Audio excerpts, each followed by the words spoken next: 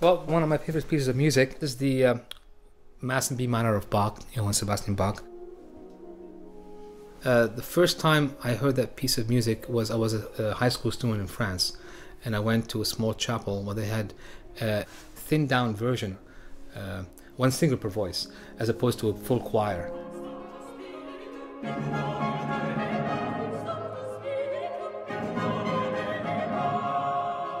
And uh, it just moved me to tears almost.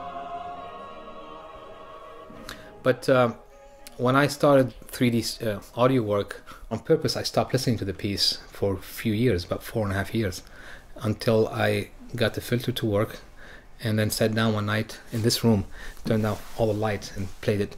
And um, it was a pretty emotional experience because the choir was just right there in front of me and spread exactly, you know, right. So it was a, a very emotional experience.